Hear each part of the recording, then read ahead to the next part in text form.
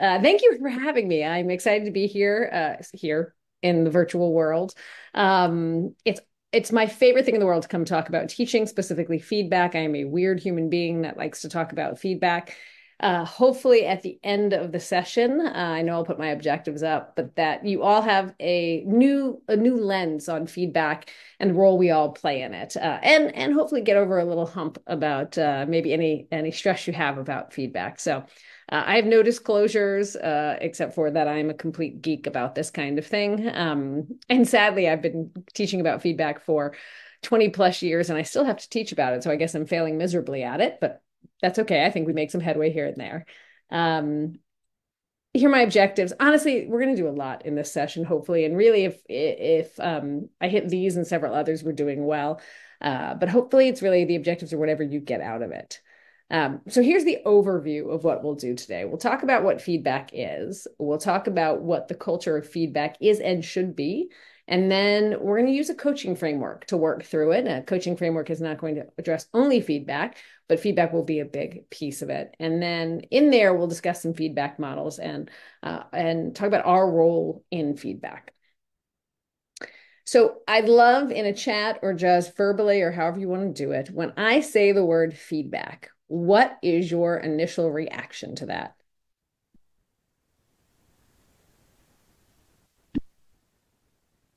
I'm going to try and get my uh, chat to work. Someone said, oh boy. Oh boy. What else do you have? There we go. I've gotten it. Challenging. Yeah, exactly. Anything else? Someone said, keep reading. That's a keep reading. Read more. Is that what I'm getting? The, the uh, classic read more? Sandwich, sandwich the bad with the good. Great. We'll talk about the sandwich as well. Yeah, I mean, it's interesting, right? The initial reaction, the first two were, oh boy, and challenging, right? That this was uh, at least some negative or some tension about it. Um, it. It's like when somebody says, we need to talk or when uh, in my high school days someone says you need to go to the principal um, those are never you never have a good reaction to that right? You assume something. I still get if i get a call from my boss's assistant saying the chair wants to meet with you it's like oh gosh you know and it, it's rarely that but we tend to have this view of feedback that something's coming we're not really sure um, but the reality is feedback can be should be thought of in a different way right? It should be thought of as an opportunity it should be thought of as like, oh, awesome, I'm getting feedback. That's great, which I don't think very many of you think about that. Uh, but feedback really is just a way to get from point A to point B. It's a way to see where we are as a performer now, whatever that performance is, if that's taking a history, if that's talking to families, if that's giving a lecture, whatever it is, here's where we are. Here's where I want to be whatever that is in in uh, we'll talk about it in uh, training but that's competency based whatever that element is. And here's where you want to go and here then there should be a piece of here's how we get there. That's all feedback is. It's not a judgment it's not a statement it's not a finger wag. It's it's just hey here's where you are here's where you want to be now let's figure out a way to get there. Um, which has a different should have a different reaction than oh boy right? That should have a different reaction that your heart rate goes up 15 to 20 points just by hearing the word. And in competency based education, it's the hallmark, right? So, this is a quote about competency based education, and that's where we are now with uh, residency education. Uh, it's the optimal combination of regular formative feedback and learning opportunities to practice skills and improve performance. So, think about that, right? It's an optimal combination. So, it's regular formative where I think a lot of times we just think of summative. So, quick difference on that. Formative feedback is often verbal. It's me saying to somebody, hey, you know, I saw you do this. I really liked how you did that. I might change this one thing, right? Versus they got an honors, or I'm going to give them a three on the milestone. That's summative. The first one's formative. So, what it's saying is give a lot of that small, quick, feedback saying, or not even small and quick, but sometimes here's where you are. Let's think about what you can do next. Um, and then give the opportunities for them to practice, right? If I were to give somebody feedback on doing a procedure and then I didn't let them do the procedure, that would be a problem. But the whole goal is to pr- improve performance, to get better. Um, I always think it's fun if you ask learners, whether they're students or residents or fellows, you know, how many of you don't want to be the best doctor you can be? I ask that every time I go on service. I've never had a hand raised, right? A horrible double negative, but the point is made. Everybody wants to be better at what they do. A few of our learners don't think they have far to go, but most people want to get better. And that's what this is. It's just a way to get you there. If any of you have done a lot of other different kinds of things outside of medicine, we do this all the time. Um, but the culture matters. What we set up, how we establish the world of feedback truly matters. And uh, I'm a sports fan. Uh, my husband's an Indiana Hoosier, so we'll talk about the gentleman on the right. These are two largely different cultures. So I don't know if anybody in the audience uh, knows who these two people are, but on the left is John Wooden. John Wooden is the quintessential example of a coach. If you look at college sports, he was at UCLA, he's revered, he's written books on coaching, people write about him and what he did. The gentleman he's standing next to is someone named Lew Alcindor. You might know him as Kareem Abdul Jabbar, one of the greats to play for the Lakers. Um, but he was, every time you hear about John Wooden, you think this is a man who raised men, right? He didn't just coach basketball, he made them better people.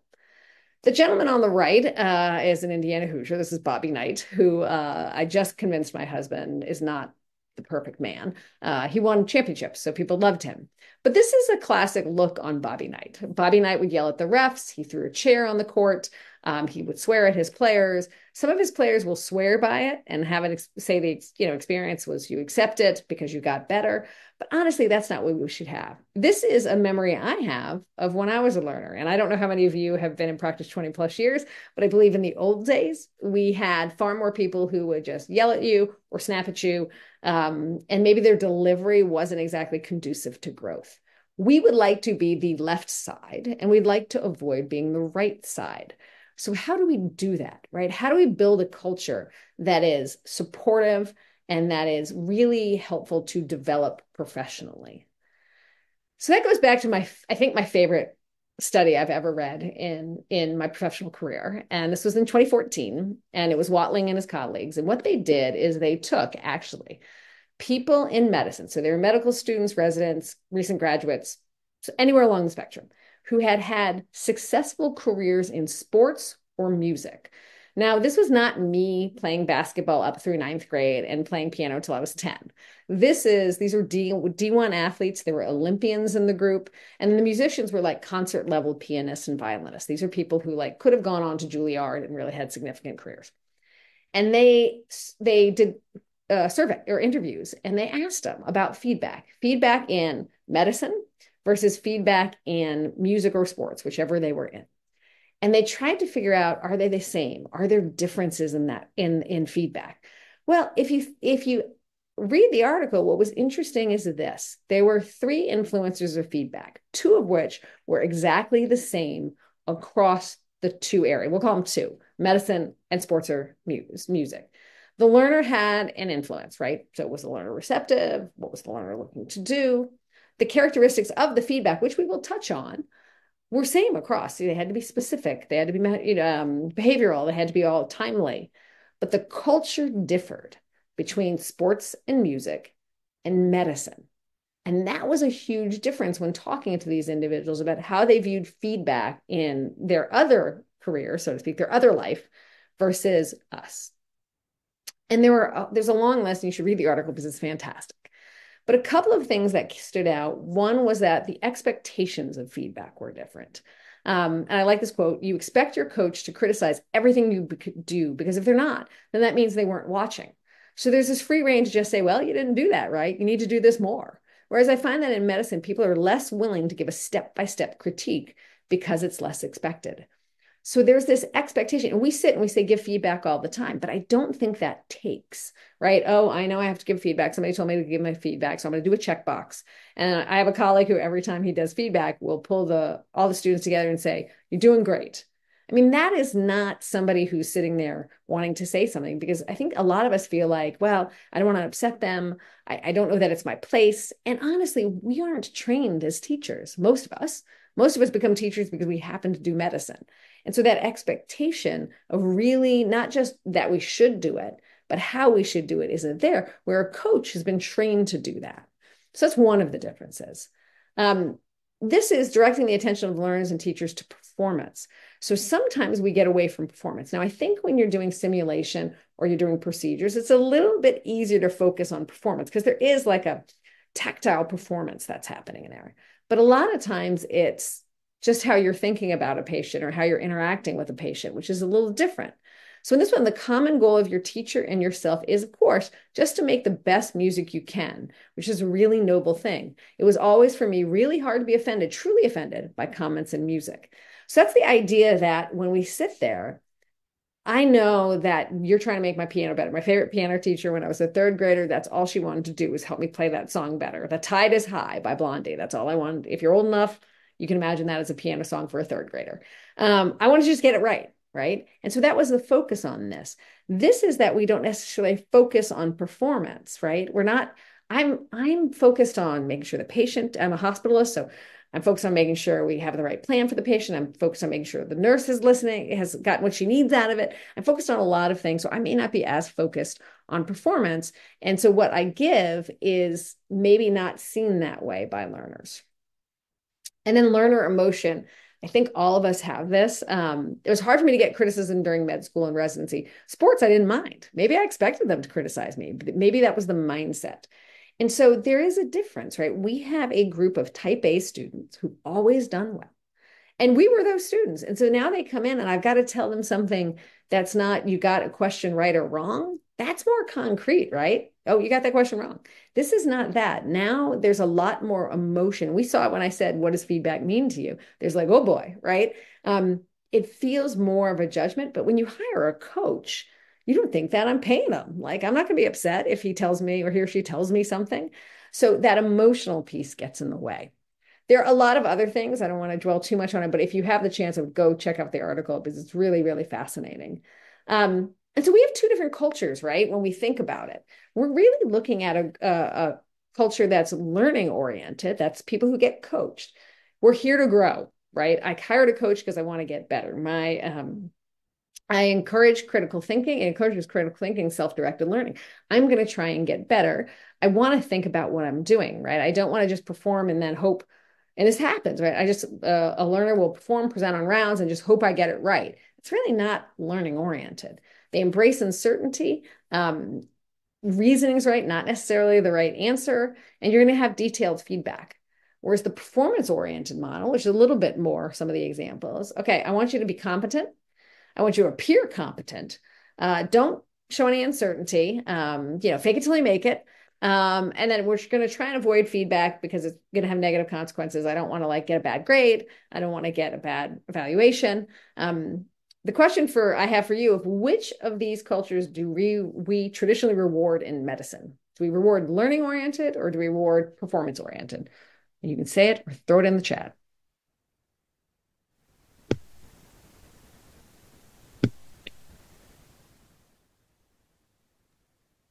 Oh, I know you guys got this.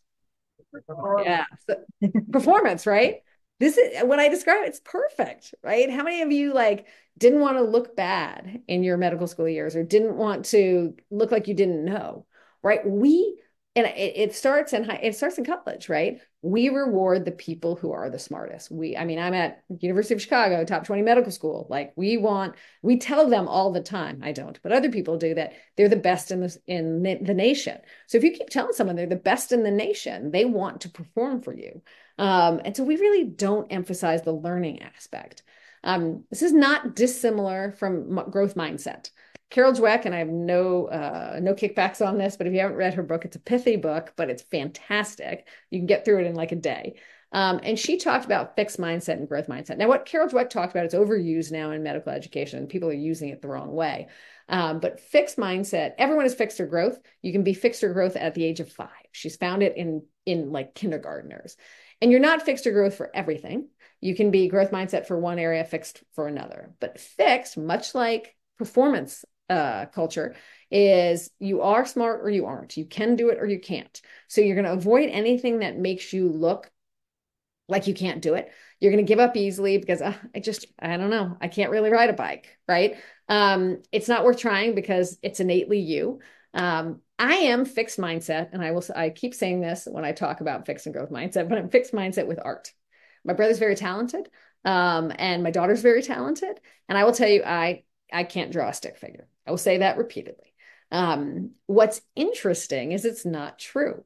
I went to an art class with my daughter, and she picked. Uh, we were looking for an art teacher, and so the woman gave us a class. She said, "Pick something on the internet you want to paint."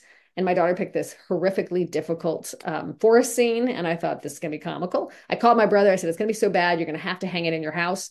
And we went and we spent like an hour and a half. And I don't, I mean, I don't paint at all. And at the end, honestly, it was good. Like, okay, the teacher had to help me about 30%, but I had this fixed mindset. I told everybody going into it, it's going to be ugly. I can't paint. And then I came away with something going, huh, that's really interesting. I bet if I kept going, I could be better.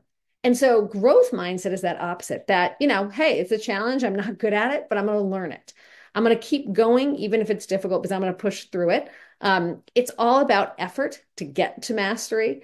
And I like criticism and feedback because it's going to help me get there. So we really want to get people to be growth mindset. It's a huge piece of what we do, right? Uh, we need to move away from letting them people people think they're fixed. Oh, I just can't do that. Or to let them think I am just naturally good. You can't let people think that either because they're not going to grow. Oh, I'm just, I'm good at it, right? How many people have said, oh, uh, you're really good at math, right? This is why we tell people to, uh, to praise the process, not the, not the outcome when kids are young. Oh, I love that you work so hard on that. That's great. Rather than saying, you're such a smart little kid. Um, we can do the same in medical education. In medicine, though, so to take it away from growth mindset and Watling's uh, piece about uh, music and sports, it's different, right? We find our feedback lacks clear expectations. Um, we don't know how much, uh, like, I'm supposed to get. I don't know as a attending how much I'm supposed to give. What's my role in feedback? Um, it doesn't facilitate honest feedback. I think partly because we work with each other so much. So I don't want to upset you if I have to work with you again. Plus, there's the whole worry about repercussions on my evaluation if I say something to you. It's not bidirectional. Now, this is where we deviate slightly from the coaching frame that we're going to talk about because I don't think we often like immediately give coaches feedback as well, but you should be able to give feedback on their coaching. Um, the relationship affects the credibility. So it's interesting. If I, as a silly example, if I give a student um, or a learner feedback that they um, they swear too much, someone might look at me and go, "You swear, girl," and so that affects the credibility if somebody tells me like I need better patient centered communication and I've watched them, I don't think they have good patient centered communication. That credibility can affect what you're getting it, but also the receptivity of the learner can affect it. But everywhere in medicine agrees we need it for professional growth. There is no way to get better without feedback. And so we have these problems, but we can create a culture that affects the first four, um, and that will ensure the fifth. So, how do we do that? Well, we all, I don't know if we have any trainees in the room right now, but we all have a responsibility, both as a player and as a coach. So we can think about the players right now as our residents, as our students, as our fellows. But I'm going to say for a second, I'm a player too. Um, I'm always learning. I'm always trying to be better. Um, and so we can put ourselves in that frame a little bit. But let's think about it first from the traditional learner frame. What is their job in this? Well, I always have to put uh, one of my favorite players because I'm in Chicago, um, and I uh, sometimes will change this out. I guess I could put someone from Tennessee, but I don't really know a lot of Tennessee basketball players. Sorry, um, I'll never put LeBron James here. We can start that fight later. Just mark it down. You can put it in the chat if you disagree. Um, but what is our job, right? Inform self assessment for players, solicitation and utilization, how to do that, and then upward feedback, which we'll talk about. Let's start with the model we actually um, we'll talk about informed self-assessment with a model in a second but let's talk about solicitation and utilization because that involves it. So a friend of mine came up to me years ago and said i know you teach about giving feedback but do you teach anything about getting feedback? How to get feedback? And i was like oh wow. No mind blown. So we actually did a study where we went and interviewed uh, we did focus groups at three sites with um, uh, physicians uh, attendings in all the specialties um, residents in multiple specialties and students. And we asked basically, what's the best process for a learner to get feedback from the learner side?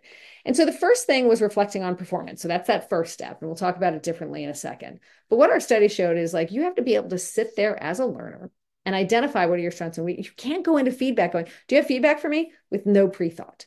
Now, this this is the same for me. If I go ask somebody for feedback, I have to know what I think of my performance. And all too often, we just passively go into a feedback session.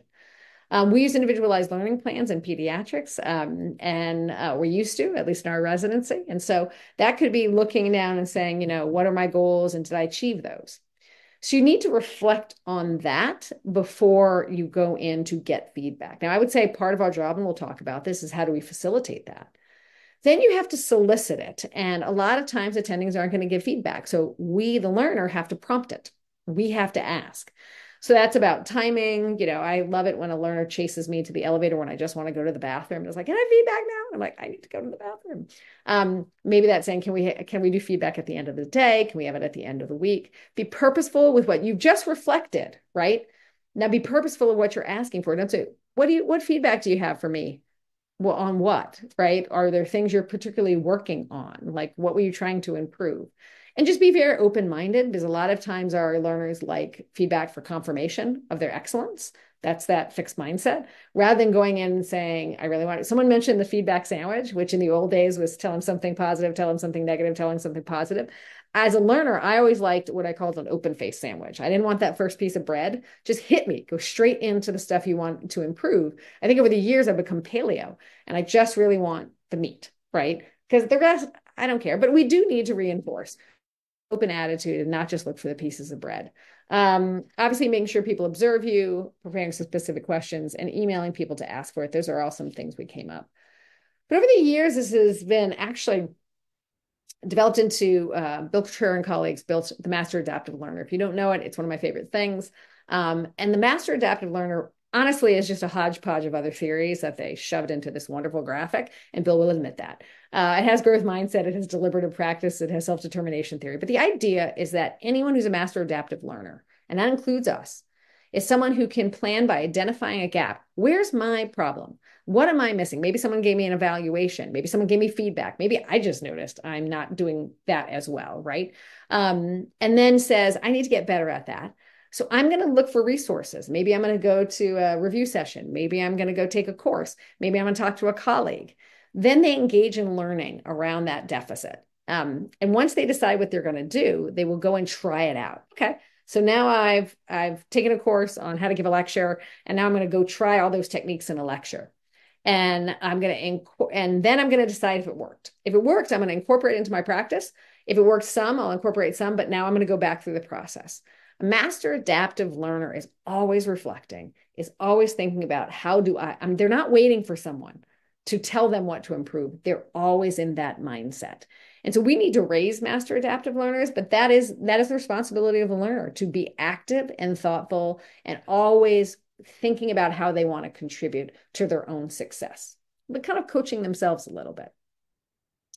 And then there's upward feedback. Um, we talked about this being bidirectional, and it needs to be bidirectional. We have to be able to give feedback to those above us. I know I could have a whole session where everybody told me a scenario where, well, I have to talk to my chairman or I have to tell somebody who's mean or whatever it is. But I think most comers, like 90% of the people you work with, are going to be amenable to this. And so we as teachers are constantly learning to be better, whether that's as a teacher, whether that's as a team leader, whether that's whatever it is. I mean, I find that my students are phenomenal because of their different generation of reminding me about diversity, equity, inclusion items, about implicit bias, about language use. Um, and you want them to be able to tell you that. We actually did a study recently that we published where we interviewed pediatric hospitalists. And uh, we actually surveyed pediatric hospitals about would you accept feedback from students and residents? And we gave them four classic areas that an attending would have. So um, teaching, leadership, interpersonal communication, so personal, and then clinical care. And we said, would you accept feedback or do you want, how much would you value feedback? And it turns out they value feedback from students and residents in all of those. Clinical was a little bit lower from students because kind of like, what do you know? Uh, but residents, they wanted certainly in, per, in uh, the personal qualities, they want feedback. And then when you ask them, do they get enough feedback from their learners? The answer is no. So the reality is, most of us, if you're a learner sitting in the audience, want this right? It's it's how we do it you know how it's approached but part of it we'll talk about our approach is inviting it. Um, so something to think about as a learner is giving your uh, the people who teach you feedback. But the data is there. We also have done um, we're working on final edits on a paper where we interviewed learners about how um, how attendees could help facilitate this. Um, so now let's get to most of you are faculty so we'll talk about the coaches role. So phil jackson the uh, the coach that got six championships. Um, and so let's talk about that. So, what does it take to be a coach? I love this definition. Being a coach requires the provision of contemporaneous and individualized feedback on observed behavior and the use of stimulating and challenging observations to maximize the coachee's potential. All right, so we saw feedback in there, but let's break down some of these words. Contemporaneous all too often our feedback is not, right? We can say it's contemporaneous because we gave it at the end of the week, but now it's been a week and they haven't gotten to fix everything. I'll tell you, in the old days, 10 years ago, the, all my learners, all my residents and students were like ecstatic if they got feedback at the end of the week. Like, oh my gosh, like I don't get feedback anywhere, uh, anywhere from anyone, but I get it at the end of the week with you. That's fantastic.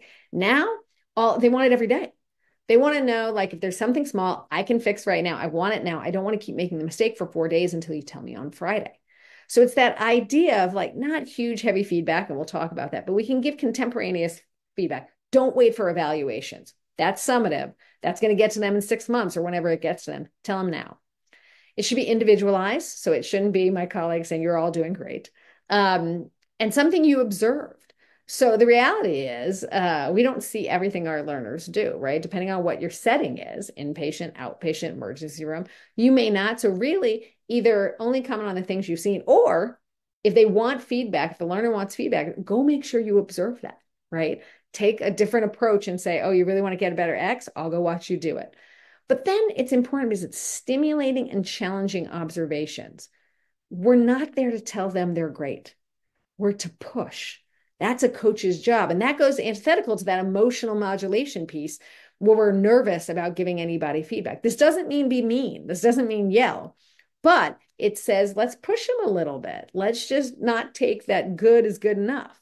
Um, but it's all there to maximize their potential. And I think again, if we if we use that lens, they're going to take it much better. So, quick question for all of you, and you put it in the chat. Is there anyone who's been a phenomenal coach for you in your medical education journey, in your training? You don't have to tell me their name, but you can unmute and just uh, say what made them a great coach for you. Or you can put it in the chat.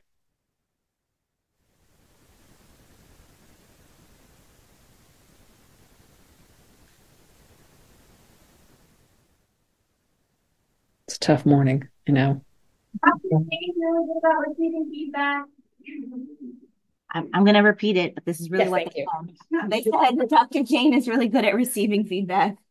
Oh, re- okay. So what what do you mean by that? Like, can you expand on really good at get, getting feedback? Dr. makes a point of getting actually personal professional goals for the week and then checking in at the end about whether or not we've reached them. And that's always really appreciated. So I heard get your goals at the beginning of the week and then checks in at the end to make sure you achieve them. Is that right? Yeah, that's great. That's a great coach, right? And we're going to talk about that model, but it says, what do you want to try and do? And now I'm going to, I'm not just going to ask, I'm going to follow up and see if we made it there. That's awesome. Anybody else have a good coach?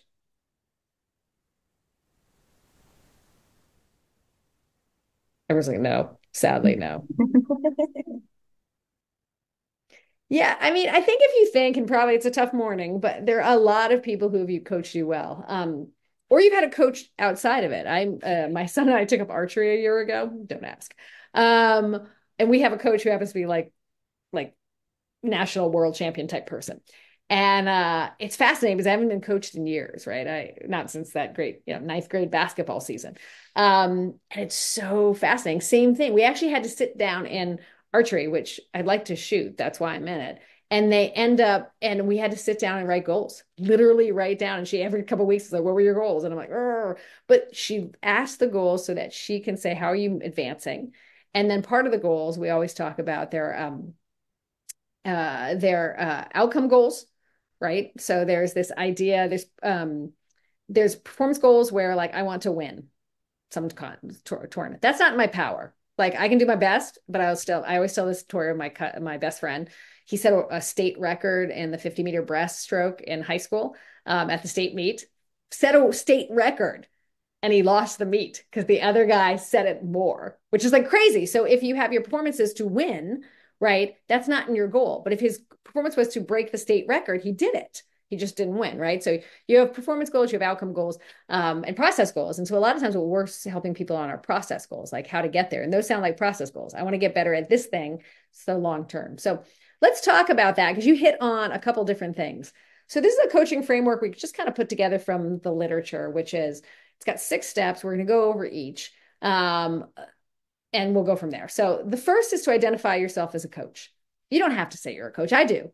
I started probably six years ago before the pandemic, starting my service week by saying, I want you to think of me as your coach. My whole job is just to get you one inch closer to being the best doctor you want to be.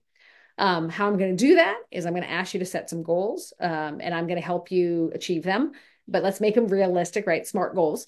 Um, and so, or you, you don't have to say coach. You can say, listen, my job is just to help you get better. I'm not here to judge or assign a score. I tell the students, I know I have to grade you, but if you just focus on your goals, it'll come out in the wash. Um, so redirect what you're there to do as not grade somebody, but you're there to help people get where they want to be. And those goals need to be iSmart. I think most of us know this, but they should be important important for peds. They should be specific, not learn peds, right? Um, because I haven't learned peds. Uh, so by the end of the week, I want to be able to like um, create a differential for the three most common uh, presentations in pediatrics or something. Um, that's specific. I could find I could figure out if you what are the three most common, what's a differential. Should be measurable. That's that piece. I can tell if you did it. Achievable, right? I want to be able to um, treat every diagnosis in pediatric inpatient. Well, that's not achievable in a week. Congratulations. Relevant to the rotation, if someone comes on pediatric hospital medicine and says their goal is to be able to take a full developmental history on every patient, I'm like, no, please don't. Dear God, please don't. We don't have time for that. Um, and they're timed, meaning we know how long you have to do it. So after we identify ourselves as a coach and help them create goals, and I should go back this is exactly what you said what your coach did there are a couple different ways to do this i do it one-on-one i say i want everybody to text me or email me their goals by the end of the day one two of them i said thing one thing two. I just want two. Don't go crazy. I'll give them feedback if i don't think they're written well. And then i make a document that i keep on my phone and i write theirs down so i can look at them. And i'm always looking at them. Um, we actually have a process at our institution. I was just looking at the paper last night where we actually send an email to all the learners right before they go on their inpatient rotations that says, What are your goals for this week? Once they fill it out, it kicks to their attending. So I actually get it now, like virtually. And so I can see that. That doesn't go to the students, it just goes to the residents, but it really puts a culture of the program is expecting this to be part of what you do. Um, so you could do it that way. Some people will put up, up on like a Canvas or an LMS, whatever you use, so that, or MedHub, so everybody can put theirs and there can be a back and forth. Uh, some years I've actually put that sheet, a printed copy in the conference room, the workroom, so everybody can see everybody's goals. But I think it needs to be tangible. They need to be able to say them to you and you have a chance to see it. Um, I should say also, I put my goals here. At the beginning of every week of service, I tell my thing one, thing two. I say, here are the two things I'm working on. That's how I, as a coach, start prompting people to give me feedback because I'm letting them know I'm working on something. All right, then you want to make sure you watch them. Again, if they give you a goal that is something you don't watch, don't accept it as a goal. Say, well, I actually don't see you do that. Um, I had someone two weeks ago give me two things that I would never be in the room to see. And I was like, listen, these are great. I'm going to let your senior resident know. We're going to ask them to look at them, but I need something I can do. I will tell my people I will never, never watch you do a full H&P in the emergency department. I would rather die. It's just not my cup of tea. I'll I'll tell him I'll go watch you do an interval history from a patient who's already been admitted, but I'm just not going to go watch you do a full H&P. It's uh, my eyes will start to bleed. Um, so I'll redirect that. I'll say this is how I'll see you do that. Um, and then making sure you observe at least those two things they're saying. And then you give feedback. And we've alluded to this. Um, feedback has this is these aren't formal official phrases, um, but brief feedback is probably what I use more than ever. Um, this is that quick daily hit Um, I give feedback to everybody on my team at least once a day on rounds. And it's they've just presented a patient. We're walking to the next room. I tap them on the shoulder. I say, step back, like we're a foot behind everybody else. And I go, okay, I love that you did that. That was really great because next time I want you to try this. And that's it. We don't have a long discussion. And they incorporate it in the next patient. It's fun to watch, right? So that brief feedback, if you're in clinic right after you saw a patient, like, oh, you know, uh, you know, I love that you got a really good developmental history, but I also noticed that you like stood over the patient a lot. Maybe sit down next time. Quick, quick hit, right? It doesn't have the the tell me your opinions. Let me know how you feel part. We'll get to that. But it's quick and they love it, right?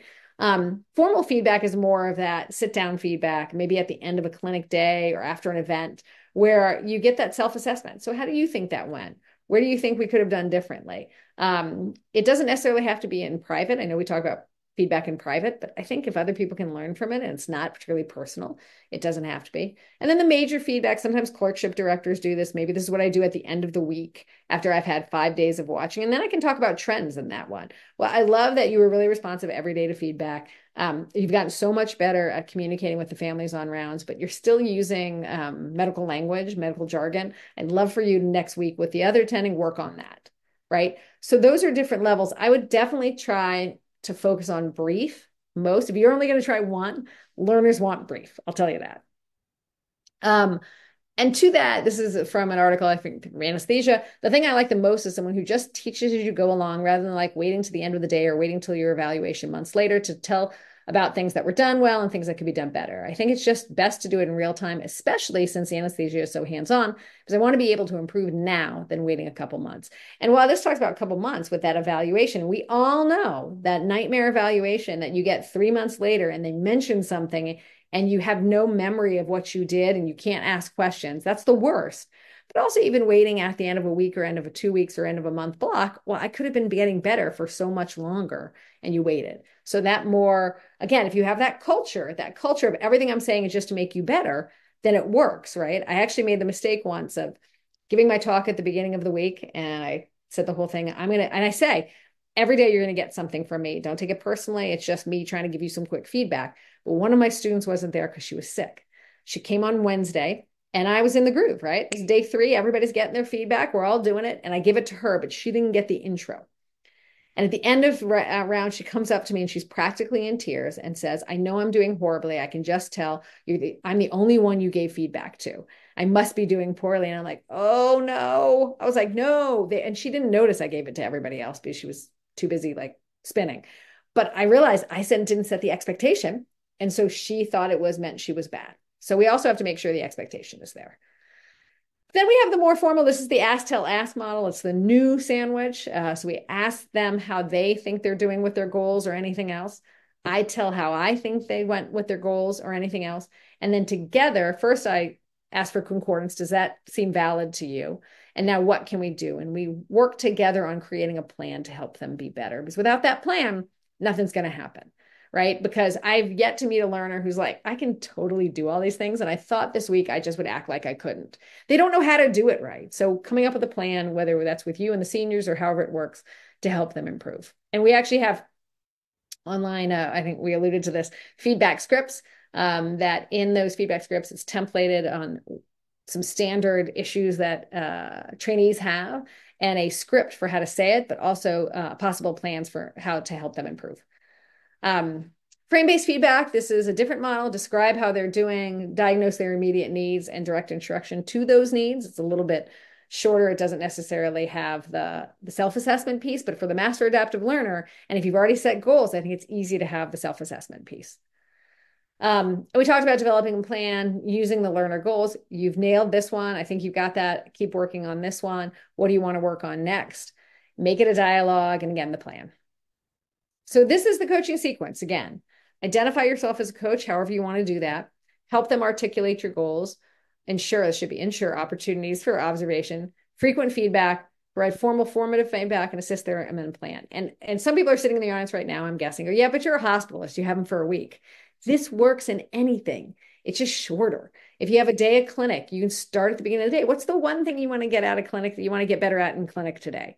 And it takes you five minutes at the end of the day. You don't have to do a very long, protracted feedback. You're in an ED shift. When you get on, first thing, how long are you here? Well, my shift ends in six hours. Great. I have six hours with you. What one thing do you want to work on? Right? It can work in every setting and every duration. You just have to adjust for how much you think. Is it an inch you can get them closer to the goal, or is it a millimeter? Right? Just pick that thing and you can still do all these things. It's just more compact. So does it work? We actually did a study that we haven't published because my partner who has all the data went into industry. Well, that's a bummer. Um, but we actually used a, a learning climate inventory. Um, so we assess the climate, so the culture in some ways. And then we um, survey learners about the climate, but we also survey um, them about which of these coaching behaviors our, our attendings use. And so on the left is the ECI score, the Educational Climate Inventory score. Um, and you can see for every one of our things that you did, the climate score went up. So if your coach, if your attending were do, was doing these things, educational climate was better. And that educational climate is an area of discovery for uh, ease of making mistakes. There are a lot of parts to it, but it says like you're allowed to be that growth mindset. And so having these allowed that to happen more. It also gave better ratings to the attendings. And I know that's not why we do this, but we do get evaluations and we do need to get promoted. So you're far more likely to get an outstanding if you do these things. So that's another carrot there for you. Um, and a couple more things for coaches, right? So that's how we're going to help our learner. Like those are our strategies. But again, like I've said, we need to grow as well. And so the same system, reflective practice, asking for feedback and growth mindset apply to us. And so reflective practice really quickly, Donald Schön did the work, and there's reflection in action and on action. In action is right now. I'm doing it. It's tough for me right now because there's a bunch of you in a room and I can't see you, and everybody else has their their um, uh, camera off. So I'm having trouble uh, getting a read. Heather Heather has a great picture on her uh, her screen though, and so every time I'm wondering if this is going well, I look at Heather's picture and I feel like it's going well. Um, thank you, Heather, for your picture. But I'm still trying to figure out did people respond when I paused and asked for stuff? I'm trying to reflect in action what I would change. We all, that's something we should all be doing when we're teaching. When we're giving a lecture, when we're working on the clinical world, we should be aware, right? And then reflection on action is what I'll do after this this is what I'll do at the next step and say, is there anything I would change? How would I, how would I shake that up for a virtual presentation, whatever that is. So we should be doing that though clinically. So when we're done with a day of uh, clinic or day of rounds or day of working, some period of working with a learner, we should be reflecting on, is there something I would do differently? Because we should all be looking for growth. We should be our own master adaptive learner. Same process, right? I, I, um, years ago, before I knew Master Adaptive Learner, I had the most notable process of this, but the um, the input, the identifying the gap came from an evaluation, two evaluations actually. Two evaluations in a six month period, which you know means I got them six months later, said I was scary. My boss said, It's too scary. Who cares? Don't worry about it. I said, No, I'm going to fixate because that's what I do. And so I actually sat there and said, I don't know what they meant by scary. I don't know any of these things. So my way of finding resources and engaging in learning was I asked every team I was on with for 18 months. So I think it was like eight groups. I got these eval for being scary. I don't know what they meant. If at any point during this week you think I'm scary, stop rounds and let's talk about it. And it took 18 months. And finally, one student said, oh my gosh, that was it. And I go, what was it? And he was like, scary. I mean, I didn't think you were scary, but but it could have been. And then I realized what it was is he said, you ask questions of us, like on rounds, and you your brain works much faster than ours. So you already know the answer and you're so excited to teach that you wait about two seconds and then you pounce and your energy can be very scary. It's not that you're mean, it's just very intimidating when you come in at it. And I'm like, oh. So then I spent months having my goal on rotation being to make sure I wasn't scary, but I used the other words. So then I engaged in my learning. I tried it out and I incorporated. Interestingly, about a year ago, I got feedback from someone on the same exact thing. But what was so I must have fallen off the wagon a little bit. What was interesting is I'd now established my own way of approaching. So instead of putting in an evaluation that I wouldn't get for six months and wouldn't understand, it was an intern and she came to me directly and we had a long conversation and I'd only been on service for two days with her, and it actually helped me. So it's that idea that we can also show that we are going through this process and people are going to be more amenable to giving us feedback. So, what does it take, right? It takes players, coaches, and the team. Players self assess, be open to the coaching, focus on personal growth, be a master adaptive learner. Coaches use the coaching framework to help our master adaptive learners be that way and focus on growth and then focus on your own personal growth. We can also role model how to be a master adaptive learner. And then the organization or the team needs to focus on the culture you are by having this talk, but it can't it can't end here. It has to be a continual dialogue about how we want to do it. Do we want to use the evaluations differently? What expectation, right? Go back to that earlier slide. What expectation do we have as faculty of not only how often you give feedback, but how you do it? And prioritize and value it. There are ways to give credit for this kind of thing. Maybe if you get a lot of evaluations that say you're like the best at feedback, and it was a Dr. Jane, I couldn't quite hear, like give some kudos for that. I know we don't give money for anything, but give some kudos for that so that people see this as a value. So hopefully in this talk, you've heard one or two or three things you want to try differently. And my um, my task to you, decide what that is, commit to doing it in the next week, and then focus on what you've done. And I think you'll succeed. So hopefully I've given you a, a lot to think about, but maybe there's one or two things you can take and apply now so that whether you're a teacher or a learner, because I don't know how many learners are in the room right now, I think um, hopefully we've all got something and we can build that culture where you are of feedback being about growth rather than being something to worry about. And that way we all come into feedback a little differently and it'll be far more successful. I am happy to answer any questions now. Thank you again for having me.